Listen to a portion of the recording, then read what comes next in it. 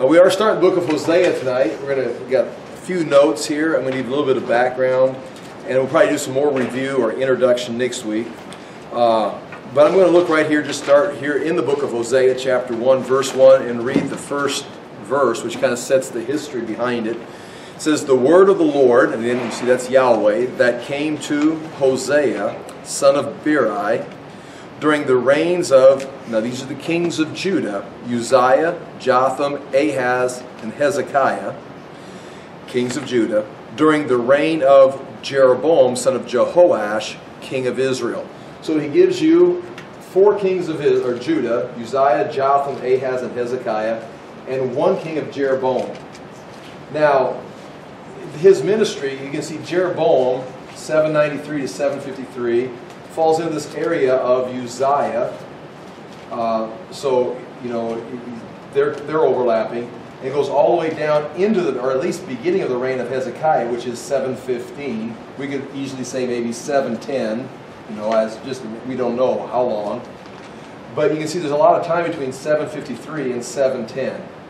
And so there's a whole list of kings from Israel that are recorded that were kings of Israel.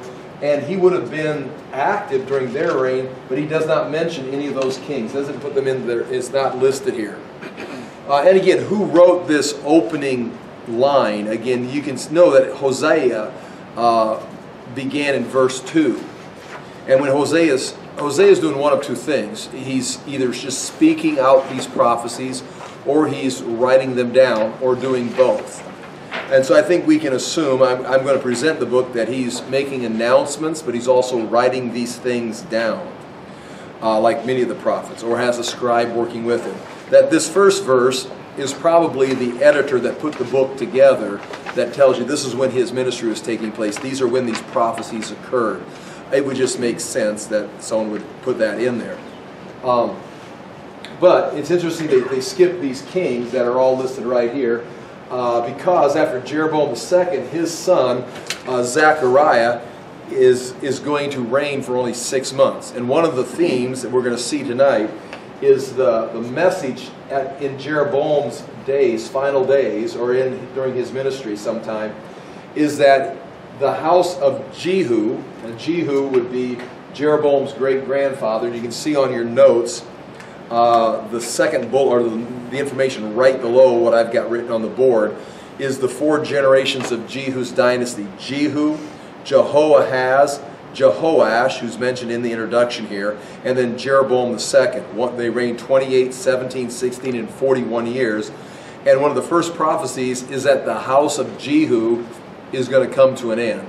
And then Jeroboam II's son reigns for six months, and then he's assassinated, ending Jehu's uh, four generations of uh, dynasty. And then there's a series of several assassinations, several several assassinations in the rest of Israel. Uh, Tiglath-Pileser setting up his own king in Israel. There's the pro-Assyrian group. There's the the faithful Israelite group. Then there's probably on the other side of the Jordan River the Gilead uh, king that's set up. So there, there, it's, it's kind of like where our country's heading, where you're going to have, you know, the, the, the, group, this group's pro this country and pro this country. Then there's a, a deep state or a sub-state somewhere within the mix, and it's just, it's just deteriorating very quickly after Jeroboam's time. Uh, then Israel's going to fall in 722. So Jeroboam died in 753, and then 30 years later, after 30 years of chaos, Israel's destroyed. Samaria falls. Now, maybe the reason these kings are listed here is because uh, Hosea was still ministering during this time period. But and after 722, he's no longer in northern Israel. Uh, we would assume he go, he's going to flee into Judah like many people did fled to Judah. He may have fled earlier. I, we don't know. Many details we don't know. But this may be, uh, it is interesting that he's a prophet to Israel, the northern tribes, but yet they list the kings that he was ministering, which gives the impression that the people of Judah kept his writings, and maybe the person that gave this introduction, this introductory verse, or that it kept these books and edited and, and put them in order of his writings, they're from Judah. And that's where he would have ended up. That's where they were recorded. uh, or uh, assembled it would look like, and there is mention of Judah throughout this. In fact, Judah is warned, don't be like your sister. And so remember, Hezekiah, we just got finished with Micah. Hezekiah listened to Micah and took action. He's also got fleeing down into his country during this time, or having fled from there, uh, uh, Hosea and, and his writings and his own presence. And so a lot of the revival you've got taking place in Hezekiah's day may have been a result of watching this, Hosea coming, having these words here, uh, along with Micah. So that's, that's what we see. Now, as far as how long did his ministry last, uh, the bullet points that we've got down here kind of gives you an impression of there. Uh, it says, well, okay, I just read this. Hosea 1 4 uh, is a prophecy of the end of Jehu's dynasty that, that was fulfilled in 752 when Zechariah died. And it also talks about the end of Israel falling in 7, 722. So some of these prophecies are going to take place during Jeroboam's time and then afterwards. Uh, the next bullet point, Hosea prophesied in the final days of Jeroboam the second, beginning about 760. So we've got the, the biggest range you could have of, of his ministry would be beginning in 793, you know, if he began in the very early days of Jeroboam, going all the way to 686, uh, the end of Hezekiah. So you can see that's that's a you know a hundred and some years. That that would be the maximum. Uh, that, that he'd be an active prophet. He's, that's when these prophecies take place. That's not counting the fact that he had to grow up as a boy and then probably his last few years as an old man. So we're talking about a man that's you know 130 years old with a ministry of you know 110 years or something. Now, that means this is probably not correct. So you've got to figure out he probably ministered during the final days of Jeroboam, and then you can pick a time. And I think on here I wrote down uh, 760. If he began prophesying in 760 BC, that means he was active for seven years during Jeroboam's time. Again, this date is an estimate. It's sometime during Jeroboam's ministry, sometime during Uzziah's, not ministry, but during these, these kingships. So say 760, and he continues down into Hezekiah's reign. And so that's why I say 710 because again he's he's going to be there for a while. How long? Maybe maybe 705 we don't know. But right here 760 if he's going to get seven years in jeroboam's reign and continue into five years into hezekiah's reign 710 you've got a 50 year ministry that these chapters were pronounced recorded and and hosea is going to be living and now that's important to understand because these first three chapters are going to be as personal information we've got. They're about his personal life, his marriage, and his first three children being born. And that whole thing could take place in a matter of maybe seven years, figure. You know, seven to ten years. So out of a 50 year ministry, the first three chapters are going to talk about maybe seven to ten years of what's taking place. That gives him, let's say 10 years, that gives him 10 years of his personal life that is going to become representative of the rest of his ministry for the next 40 years. So you could have 10 years of his personal life being recorded here in the chapters 1, 2, and 3, and that's going to set the stage for his main message for the next 40 years. An entire generation will be hearing it, giving you about a 50 year ministry. Again, 760 is not certain. Uh, let's make it the, the least if it's uh, Jeroboam dies in 753, so we can say 754. And Hezekiah begins reigning in 715. So there you've got, let's say, 755. That makes it easier. Now you've got 55 minus 15. You've got what? That's 40 years ministry. So the, and that's ridiculous because now you're talking about a few months in Jeroboam's reign, a few months in Hezekiah's reign, 40 years. So the shortest his ministry could have possibly been is 40 years, and that's too short. 50 years seems to be a reasonable allowance. So that kind of gives you an impression of how long Hosea was prophesying. Not how long he lived, but how active he was, and that his ministry would have ended most likely in Judah because uh, Israel fell and he's going to have to flee. Now, when he fled, we don't know. Kind of gives you a perspective. I got all that information written down. Uh, the second bullet point from the bottom there, a good estimate of time for Hosea's time as an active prophet would be 760 to 710 BC. Uh, and according to chapter 1, verse 1, uh, the, the minimum length would be 38 years, 753 to 715. Now, there you've got a box or a picture, the diagram that I drew, and I just updated it. Uh, I, there's a, it's on, on, on the internet or on my, or my drawing page, my, my program I use, it's in color, and there's a yellow box. It's kind of a gray. Can you see the grayish box over Hosea? That you can see it's overlapping into Jeroboam's reign, where it says Israel, the king of Israel. Can you see that? Is that okay to see that? You can see it's overlapping Jeroboam, and then it continues and go covers. Those are all your kings there. After Jeroboam, you can see his son Zechariah, who is going to die after six months, followed by Shallum, Menahem, Pekahiah, Pekah, and then the final king, Hoshea. Uh, that's Israel, then it falls by into the Assyrians. And then down below, right below that, you get the kings of Judah. You got Uzziah, Jotham, Ahaz, and then Hezekiah. So those are that's the, the overlapping the kings. So right above that, you can see he would be a prophet during the, the reign of uh, Ashur-dan the third, Ashurnari, Tiglath-Pileser, where he rebuilds, basically rebuilds Assyria. So Hosea is prophesying during the glory, the end of the glory years of Jeroboam.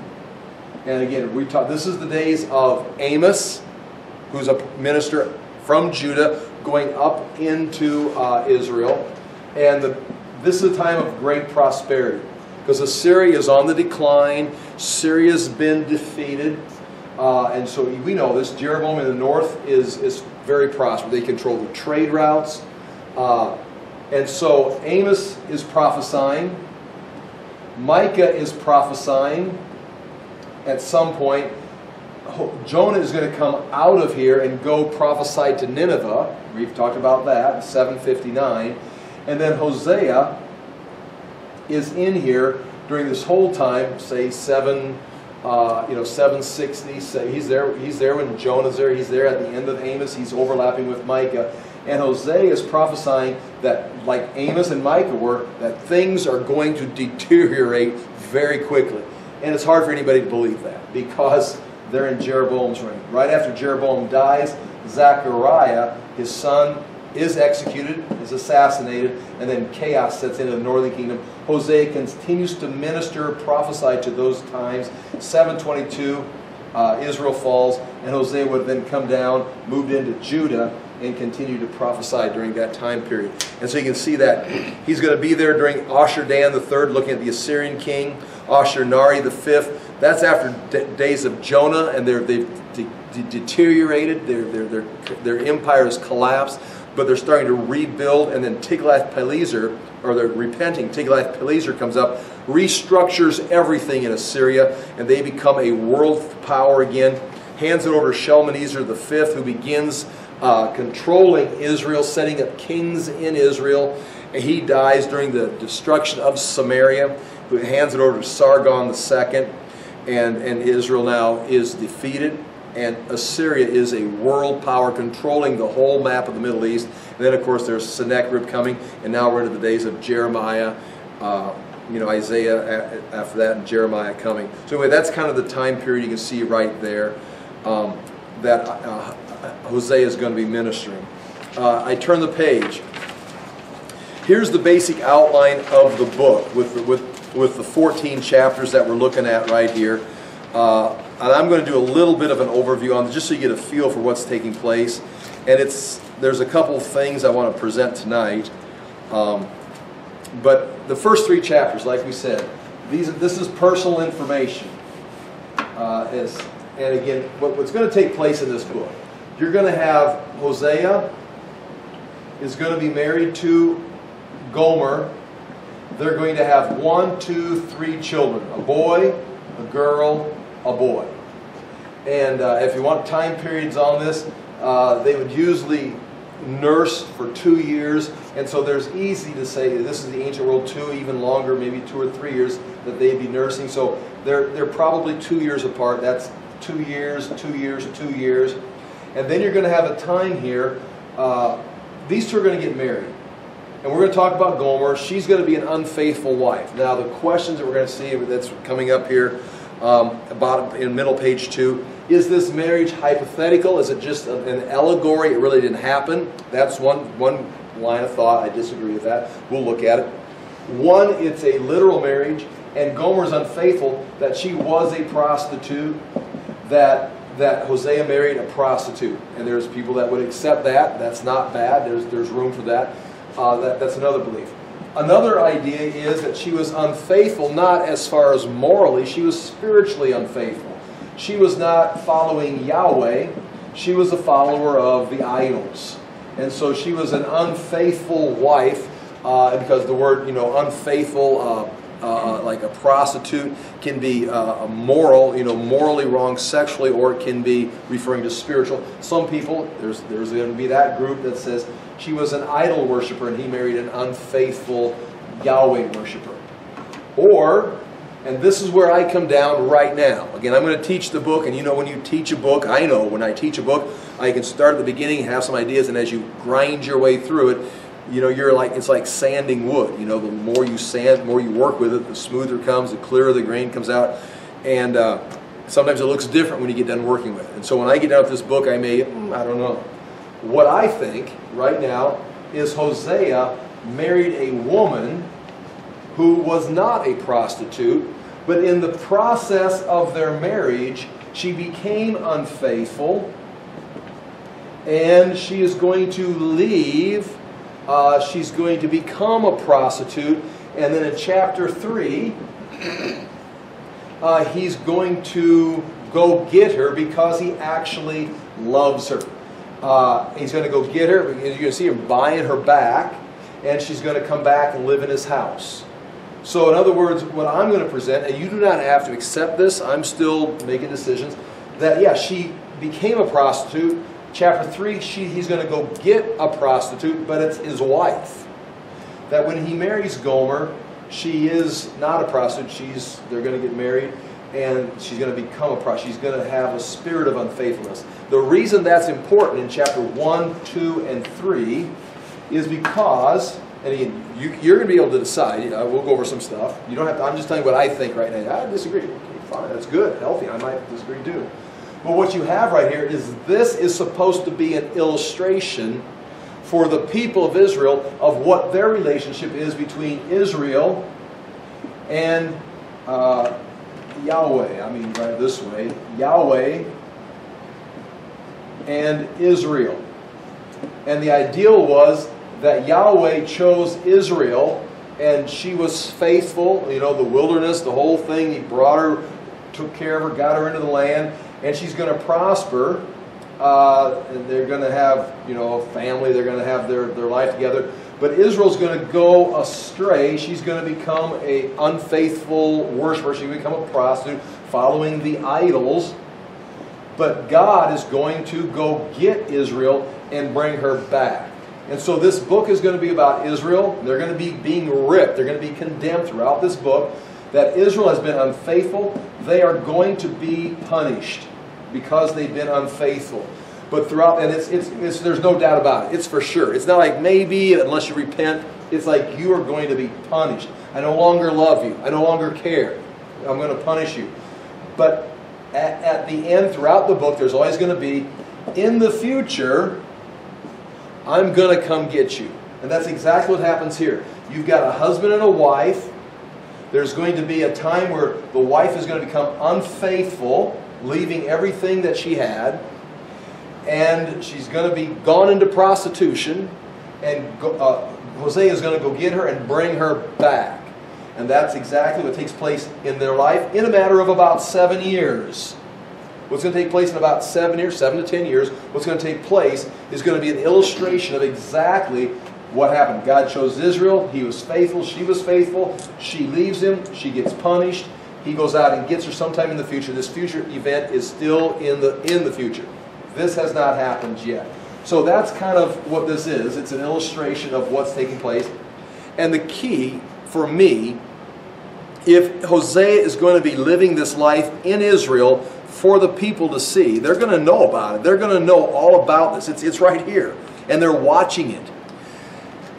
And he is not just acting. This is the thing that, that he's not just doing a spiritual act. He's not just living out a prophecy. It's like like Jeremiah, he went around naked for a while because you're going to go into captivity, or Isaiah went around naked for a while because they're going to go into captivity.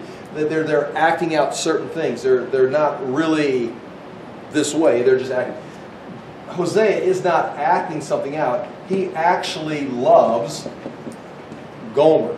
Gomer, he loves her, he marries her, has a family with her. She leaves him, and he goes out and buys her back and brings her back. And everybody's going to be have you know watching him, feeling I don't want to you know get too emotional with it, but you know feeling sorry for him, understanding him. Oh, how you with Gomer? And he goes off and he goes gets her, brings her back. What love, what love Hosea has for Gomer, and the whole point is exactly this is God's love for you. You have gone astray. What Gomer did is what you've done as a nation. Now you feel sorry for Hosea. That's how you should be feeling about God. He's the one who brought you. He's the one who's going to come back and get you.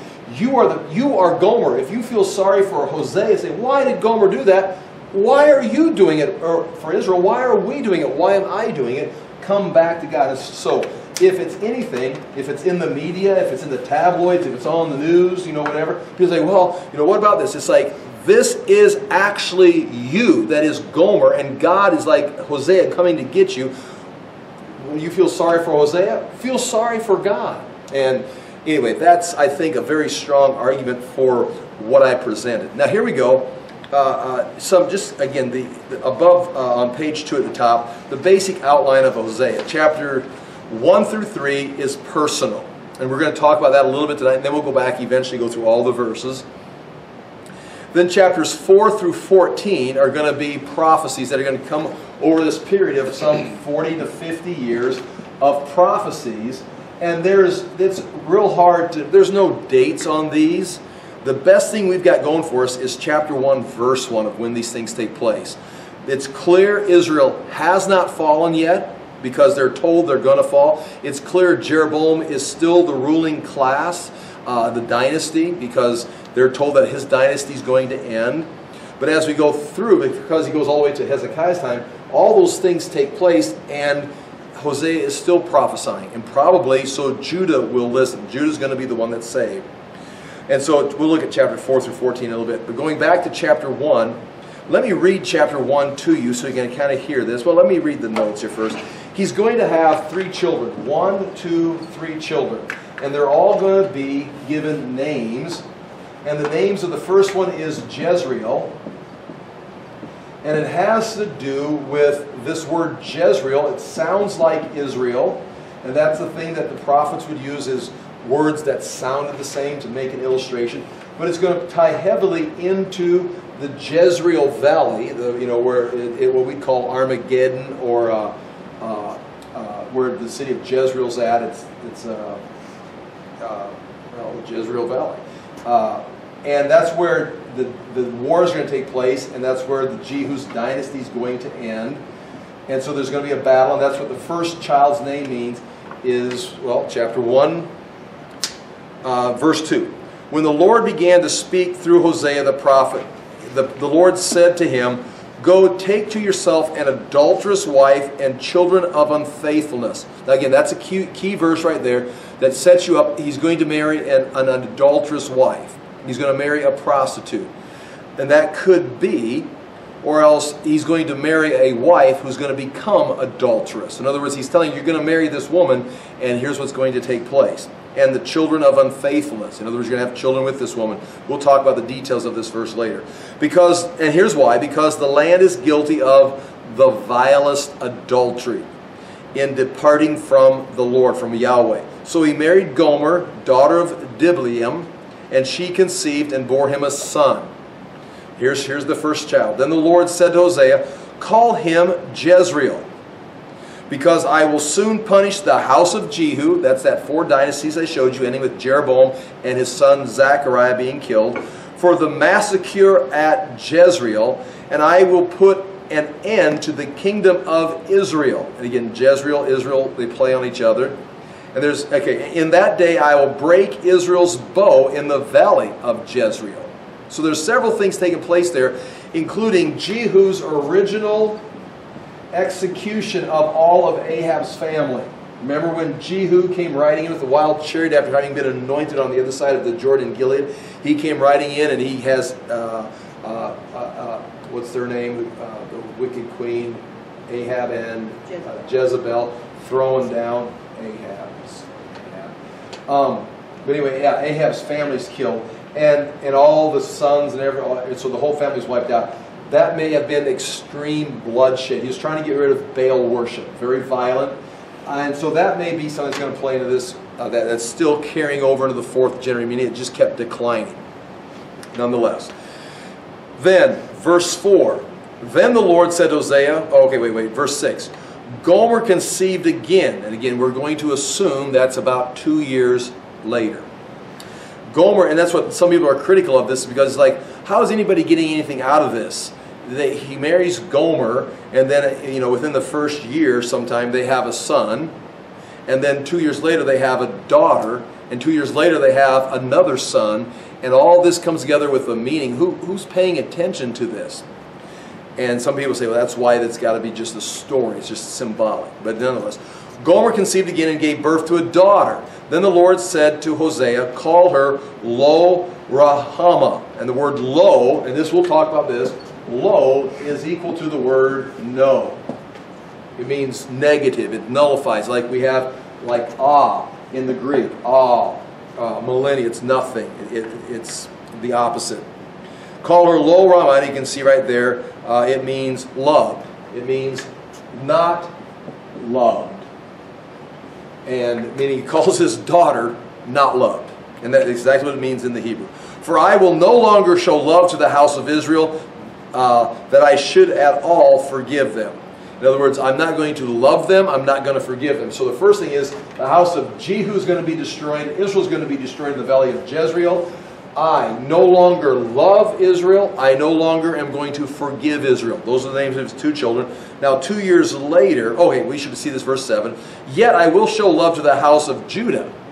See, that's interesting because this is talking about Israel, not Judah. I'm drawing a line because now Judah's been in some, is going to get into a wave of repentance, and I will save them, not by bow or sword or battle, but by, or by horse, but by the Lord their God. So remember, the Assyrians are going to be the ones that come down and destroy Samaria. And then they're going to continue down into Judah. And they're just going to continue their expansion.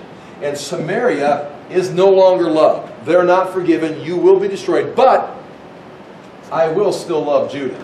And I will deliver Judah, not by horse. Now he's talking about the day of Hezekiah and Sennacherib. In other words, early in his ministry, he's prophesying that Judah is not going to suffer the same fate as, as Samaria, and, and, it's going to actually take place eventually in 701 BC. And of course, Hosea's book, along with Micah, along with Isaiah, may have helped set the stage for Judah's repentance, where they were delivered. At least the city of Jerusalem was delivered. But right there, there it is. Um, verse 8 After that, she, uh, after she had weaned Lo Ruhamah, Gomer had another son. Then the Lord said, Call him Lo Ammi, for you are not my people. And of course, there's the word Lo again, no, not. And Ami, you can see down there in the footnotes, means people or my people. That you are not my people, and I am not your God. I don't love you. I'm not going to forgive you. You are not my people, and I am no longer your God. I'm handing you over to something else. And so those are the names of his first three children uh, all judgment. So Gomer is going to produce three children with names of judgment. Uh, that uh, I mean, I mean they're they're I don't want to say comical, but you know here, what's your child's name? Not mine, not my people. What's the name of this one? Not love. I don't love this one. Not my people. And Jezreel's going to be destroyed. It's like, and where's your wife? She left. Well, it's like, well, obviously you didn't name your kids like this, but nonetheless. Yet the Israelites will be like the sand. Now here's the positive side of all. There's always going to be that. Yet my yet the Israelites will be like the sand of the seashore, which cannot be measured or counted.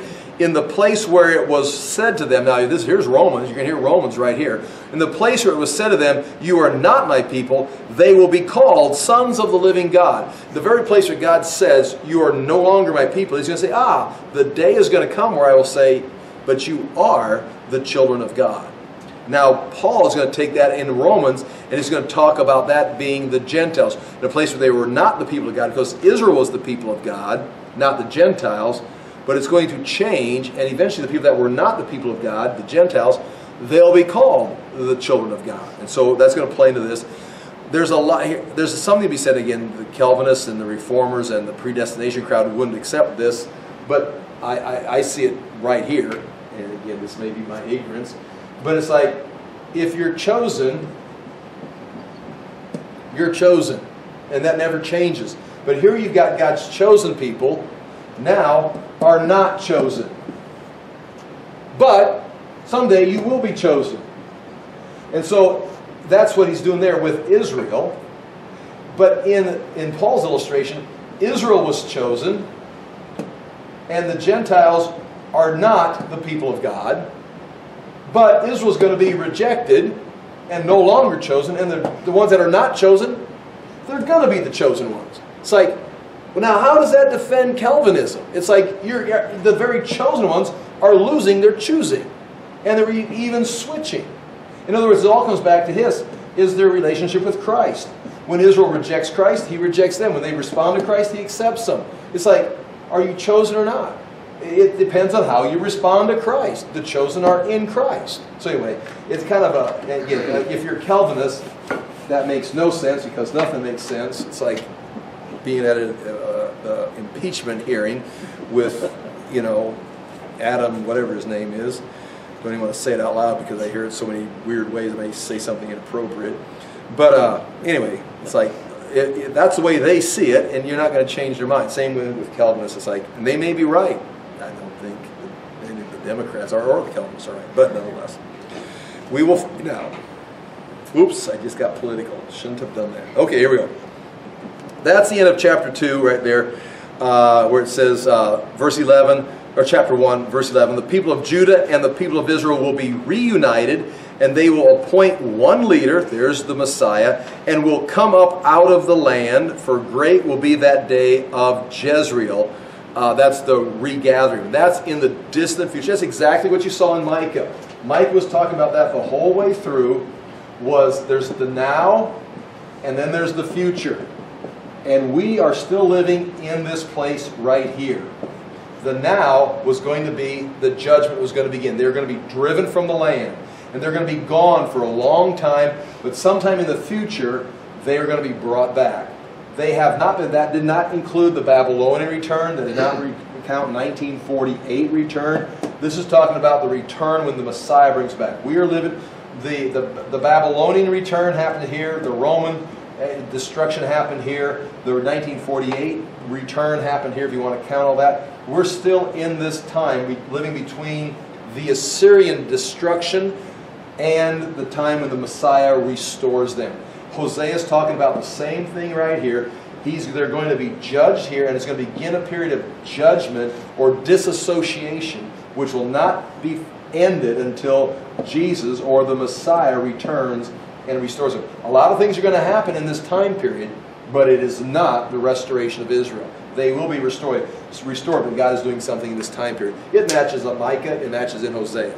Okay, now chapter 2 is a long, and you can see in the notes right here, chapter 2, Israel is unfaithful, and it talks about Israel being unfaithful. It's the longest chapter. It's, it's the longest chapter in the book. It just keeps talking about how unfaithful she is in verse 2 Rebuke the mother, rebuke her, for she is not my wife, and I am not her husband.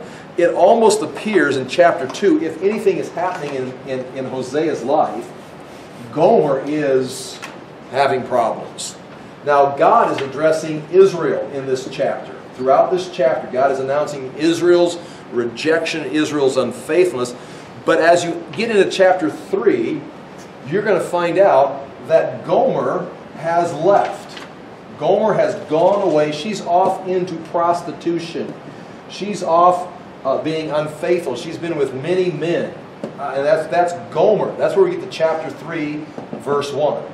Chapter 2 is, seems to be addressing Israel as an unfaithful wife, but as I present this and we get into it, it's almost like Hosea is watching his wife act just like God is watching Israel act. They both got the same problem. Yahweh and Hosea both have the same problem. Hosea is living the nightmare that God has been experiencing for years in his own home. And so that's what you see right there. It's the longest chapter. And it may be that she's running off. Now, chapter 3, verse 1. That's, that's the end of chapter 2, chapter 3, verse 1. The Lord said to me, Go show your love to your wife again, though she is loved by another and is an adulteress. Now, if there's one man or if there's many men, we'll talk about this as we go. Love her as the Lord loves the Israelites, though they turn to other gods, plural, and love the sacred raisin cakes. Now again, that's going to have to be in context. What is the raisin cake? That's something they offering the, the false gods. It means nothing to us. You know, you don't if they have raisin cakes at Thanksgiving, don't say, oh, whoa, whoa. It's no, it's no longer an issue, but for them it was some kind of ritual with the foreign gods. And so in chapter 3, God is telling Hosea, go find your wife and love her like I love Israel and bring her back like I'm going to bring Israel back. And so Gomer is not interested. And again, notice right here, Hosea loved, loves, is, is emotionally connected to his wife. And he's got every reason. Uh, now, again, according to the, well, I don't want to get into that right now. Going to, according to the law of Moses, if a, a man divorces his wife and she marries somebody else and he divorces her, this man, we just read last night, this man can't marry her again. And so I don't think, we're going to get into this, I don't think he divorced her or gave her a certificate of divorce. I think she left. I think they're still married. I think he's still wearing his wedding ring. And she's over here, and he's trying to figure out how to get her back. And now God says this, verse chapter 3, verse 2. So I brought her, or I bought her. Hear that? I bought her. I mean, she's your wife. What are you buying her for? I bought her for 15 shekels of silver and about a homer and a lethek of barley. Then I told her, You are to live with me many days. Translation, real quickly. You're supposed to, you're going to live with me and you're not going to leave anymore. You're to live with me many days. You must not be a prostitute. See, and again, that would indicate that she's been with many men. Or be intimate with any man, and I will live with you. Again, there's a courageous man right there. But what he is doing is the same thing his wife has acted towards him like Israel's acted towards God, and God is going to come back and get Israel. You're going to live with me for many days, and you're going to walk away and forsake all others. Now, Hosea, you're going to do the same thing to Gomer so everyone can see your love for Gomer. And what they're going to see. they're going to know. Maybe some of the men know what Gomer's been doing. They've been with her. And they're going to see Hosea's love and his willing to take her back. And he's going to go out of his way to say, that's how God feels about you and what he's going to do with you in the distant future.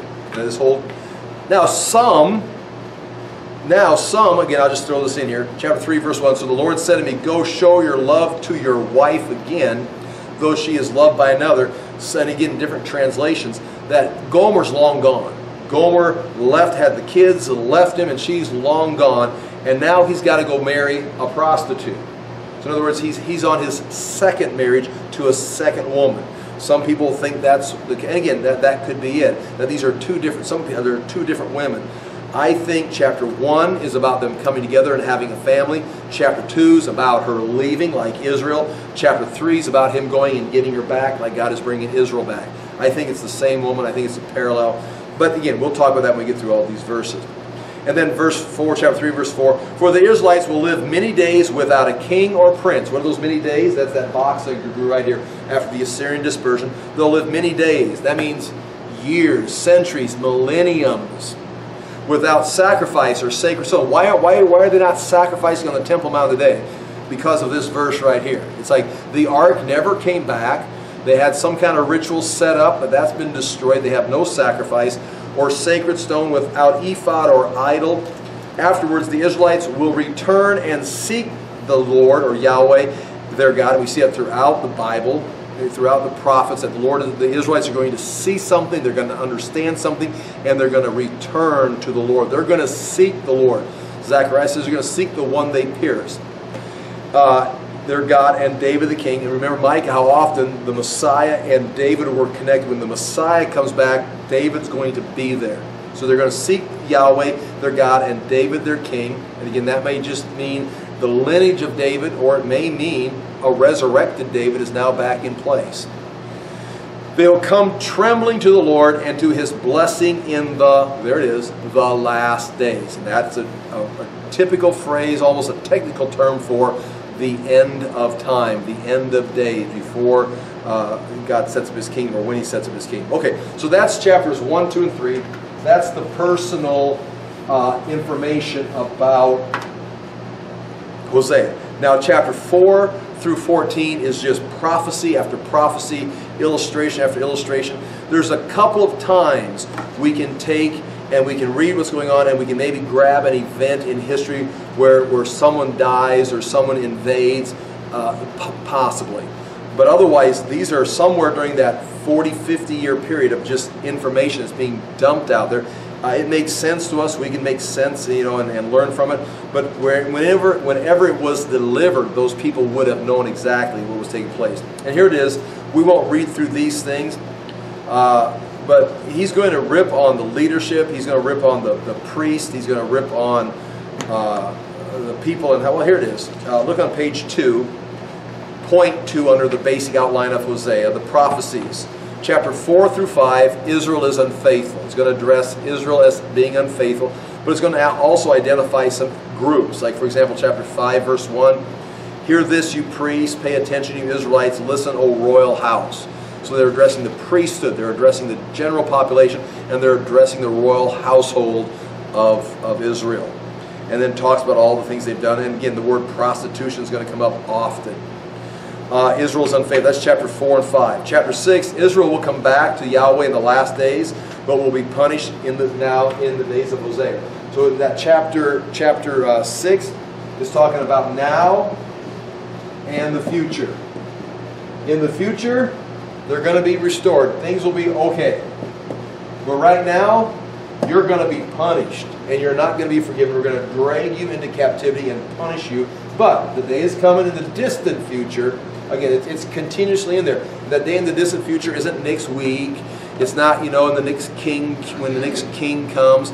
It's, you, you, you can't even imagine when this day is going to be. It's so far in the future. Now that's chapter 6. Chapter 7 and through 12, chapter 7, Israel turns to Egypt and Assyria. In other words, basically in those chapters 7 through 12, the different places that Israel turns for help are going to be condemned. They're turning to Assyria for help. They're turning to Egypt for help against Assyria. They're turning to idols and altars of sin for help. They're turning everywhere to all their lovers trying to find help and deliverance and none of them are going to be able to help them. You need Yahweh, and Yahweh's going to make sure that Assyria doesn't help, Egypt doesn't help, the false gods doesn't help. Even chapters 9 and 10, it's going to talk about their prosperity. God is going to bring them into prosperity if it is coming out of Egypt into the land or even in the days of Jeroboam. Remember, Jonah prophesied that it's going to be prosperity during Jeroboam's time. God is going to give them strength. He's going to give them military. He's going to give them trade routes. They're going to have all, the, the economy is going to be booming.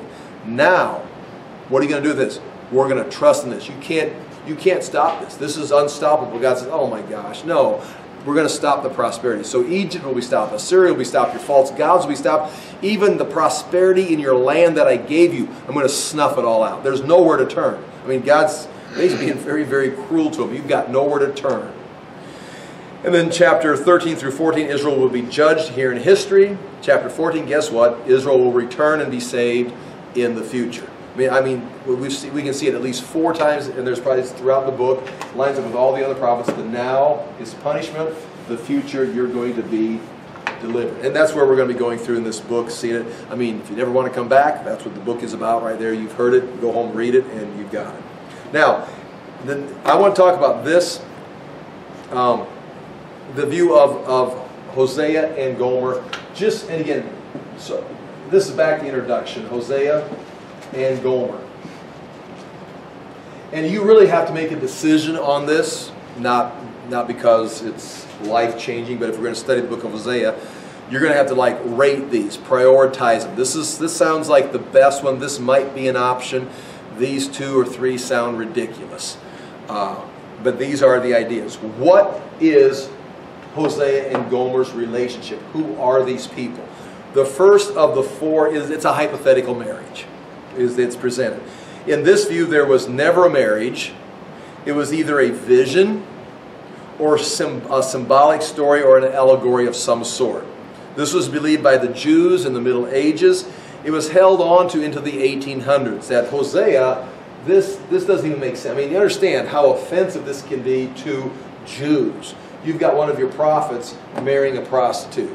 And God telling Hosea, go back to the prostitute and bring her back into your house. It's like, he didn't mean that. He's, it's an illustration. Can you imagine how Christians can't handle this? It's like, uh, no, he would never, this, this can't be. Uh, so that, that's, that's their logic.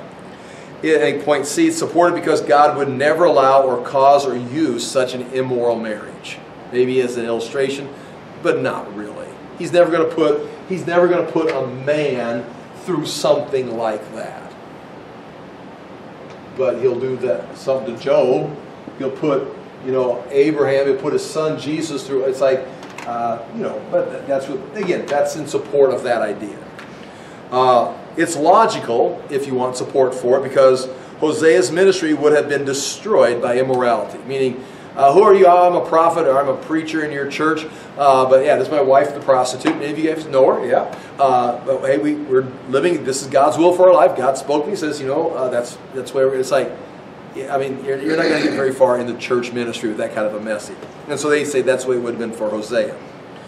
Uh, the, and they, the argument, which is uh, not really an argument, the time between the birth of the children would have been too disconnected to have any meaning. And we already I talked about that. But for some people, that's a stumbling block because you've got, you know, the, the first year of marriage, then you're going to have a two-year break, a two-year break, you got at least seven years. And who's keeping up with the names of these kids? Uh, and so they think that's that means it can't be true. It has to just be, it's a story, like you read a storybook. It's not really happening. You can read this in like 10 minutes but you have to watch it take place in the tabloids for seven years. And they said, no one would pay attention that long. Well, we've watched people in tabloids for an entire lifetime. And so they could keep up with Hosea in a seven year period, especially if he's got a ministry. Remember, he may have a ministry of 50 years, and we're talking about seven years that kind of lays the foundation for his message and they would always be able to remember he knows what he's talking about. He did this very thing where his wife forsook him and he went back and got her. God is going to do that for us, but before he does this, because that's throughout the book, God will come get you. God will come get you. God will come get you. But right now, he doesn't know you. You're not his people. He's not going to forgive you. He's going to judge you. Uh, and it's going to be in the distant future. He's going to come get you. Hosea came and got his wife after a few months. God will come and get you after a few millennia. Uh, this view is rejected, and I would reject this view, the hypothetical marriage view. This book is not written like an allegory. It's written like history. Gomer seems to be a real person. I mean, you, you've, got, you've got the name, uh, Gomer, the daughter of Diblaim. I mean, it's like you've got why for the Baxter, You got to have a name of a father for an allegory. It's this is a real. You've got how much in chapter three? How much he paid to get her back? Uh, uh, Fifteen shekels of, of, silver and about a homer and a lethek of barley. It's like none of these things have any. Like if this is an allegory and you're giving that kind of detail, the price that he's paying okay, what does this mean? What is 15 shekels of silver represent? If it's an allegory, it better represent something if you're going to put it in the story. But if it's just a fact, this is what he paid to get her back, it's like, it's just historical information. He went and paid for her.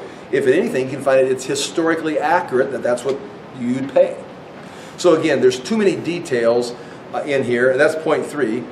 Uh, besides Gomer being a real person, there's too many details that have no symbolic meaning and they're yet provided. And then four, why write an allegory in two chapters? Chapter one and chapter three is your allegory of your story about Gomer and, and the children. And then you stick in the middle of it, chapter two, which is what? Just the longest chapter in the book about unfaithful Israel. If this is an allegory, why, why, what's not even written like an allegory? You've lost part one and part two of the allegory with this huge chapter two. That's the rejection of it. I reject the first hypothetical marriage. Uh, let's do number three next. Point number three. Uh, spiritual unfaithfulness. I mentioned that already. that Gomer was a worshiper of the idols. So, now watch this. She is worshiping idols. She is not worshiping Yahweh. Hosea is a prophet of Yahweh. And he is told to go marry uh, uh, uh, an idol worshiper. And when they talk about a prostitute, uh, the prostitute may have been a professional prostitute, but she may have been a prostitute, a temple prostitute, where you'd worship your God by having sexual relations with one of the temple prostitutes. Very popular religion, by the way. But again, that, that, that's what the Corinthians were doing. The Greeks, all the pagan religions end up worshiping their gods through some kind of sexual activity. And the, the, the, the god is represented by the priests or the priestesses that you can then go have intercourse with, and you're actually engaging with your God through these sexual interactions. And so Gomer could have been a temple prostitute. Now, the point for this is, uh, but she wasn't, even if she would forget the temple prostitute here, just that she was just, she was just a, wasn't a believer. So God is telling Hosea to go out and marry an unfaithful Israelite who worships the, the golden calves instead of Yahweh. Now, one of the critics of that, criticism of that would be, you're having a hard time having accepting the fact that God tells Hosea to go marry a prostitute, but you're okay with him having to go worship, marry an idol worshiper. So if he's if if Gomer is unfaithful uh, morally, uh, she's unfaithful to Hosea. God would never allow that. But if she's unfaithful to Yahweh, oh, that's not a big deal because it's just idol worship. I mean, you understand that you're unfaithful. Which is more unfaithful? And again, if you want to put this in in our little natural world, it's like how terrible is it to be un unfaithful to your husband? That's that's that's unacceptable. But if you're unfaithful to God, I mean, everybody everybody has trouble with that. So it's like which is worse? And the point here would be, this is worse that he would tell. It's actually worse that God would tell Hosea to go marry an idol worshiper than to tell him to go marry an immoral woman. Because this is a violation of Hosea's relationship. This is a violation of Yahweh's relationship. So I don't even think the story's talking about that. Israel's been spiritually unfaithful. And again, but that's what that is. It's spiritual unfaithfulness. Uh, this means Gomer was an idol worshiper and didn't follow Yahweh, rejected. How is idol how is an idolater more acceptable than a prostitute? So I reject that one. But that is an option out there that Gomer is just a representation of someone that's spiritually or herself is spiritually, it's a real marriage, but spiritually unfaithful. Now comes the one that we got to choose from, probably number two and number four. I've gone with number four. Here's number two. It's a literal marriage, meaning the marriage was real. Uh, Hosea did marry a woman named Gomer. Uh, and Gomer is a prostitute. She is uh, working the streets or she's working the temple. That's the temple prostitute. But Gomer is a prostitute, and Hosea proposes to her, and they go through the whole wedding, and she comes in and becomes his wife. They are married. Hosea married a prostitute. That's, that's the idea. Uh, this is what they say is means when God tells Hosea, take to yourself a wife of whoredom and have children of whoredom. That's the chapter uh, 1, verse 2 and 3 right there. That, that's go, go find a whore and marry her. Uh, the wife was a prostitute, so the children would then be the children of a prostitute. Now, the law forbids the priest. The priest, a priest, cannot marry a prostitute or an unfaithful woman. Can't, can't marry that. And some would say, well, he can't do that because uh, the law forbids it. Well, Hosea is not a priest; he's a prophet. Then you got to argue, well, if it's not good enough for a, it's not good enough for a priest, not good enough for a prophet. Not just the point. Priests could do it. I reject this. Others reject this. It's not the most natural way of reading the text. Meaning, it doesn't say she is a prostitute. It's more like she's got the spirit of a prostitute. She's she's a woman like this with a tendency that's going to go this way. This is this is where she's heading. Again, we'll talk about that in more detail when we get to the verse. It is not logical that God would tell a man to marry an unfaithful woman who was a prostitute. So right there, this could be rejected. God would not tell Hosea to go marry a prostitute. Now, that's many people believe that's what happened. I'm going to reject this one for what I've already presented. I'm going to reject this idea that she was a prostitute. I'm going to go with number four, where it is a literal marriage. There was a marriage between Hosea and Gomer. They got married. He proposed her. They went through all the feasts, whatever they did. Gomer was not originally a prostitute and was originally faithful to Hosea. They got married. They had children. Uh, uh, number C, if this is rejected, this marriage and family life would have taken too long to be a spiritual example and science of a prophecy. Uh, that's rejected. That's some people rejected that. I say it's acceptable for these four reasons. One, six or seven years of married life is not too long to be an example. Two, Hosea wasn't just playing a part in a prophecy. Hosea loved Gomer. She was a good woman. She was a good wife. They had children. Hosea is in love with Gomer. But uh, she's going to become unfaithful. She's going to become a prostitute. She's going to become unfaithful to him and to her children and go off with another man, other men. She's actually going to end up, at, so maybe she, maybe she goes after another, who knows? We don't, there's a thousand questions. Maybe she falls in love with another man, which then rejects her, which leads her then to a life of prostitution because she's not living at home. She's not living at home. Hosea is not providing for her, so she's now making a living as a prostitute. Now she's in the streets. Now she's trying to, you know, she's now she's there. She's become prostitution has something to do with Gomer's life. She is either a prostitute or is going to become a prostitute. She's either was going to become an adulteress or is an adulteress. She's going to be unfaithful morally and sexually to Hosea. So that's where she's at. Um, point three, people, like I've said this already, people would have seen, heard, and known about Hosea's family life and had sympathy on him. They would have had compassion on Hosea and understood his emotions and actions this would have made the people consider God's feelings and actions towards Israel. It may have caused them to reconsider their treatment of God since they were in reality the Gomer. And then, point four Hosea's experience with Gomer is an exact parallel with Yahweh's experience with Israel throughout the book, throughout history. And so that's why I like to think of Gomer as being uh, a good wife, a good woman, uh, you know, not a prostitute and then through a series of events, one, two, three children, she drags off and goes into this life. And Hosea is going to come back and get her. He's going to come back and find his wife who has gone into prostitution and bring her back and say, You're going to live with me for many years. And then I would assume, that, again, we would like to know that is that what happened? I mean, I think we're left to believe that they had seven years together. She's leaning and tending towards this prostitution or unfaithfulness. She goes off the deep end. She's in trouble.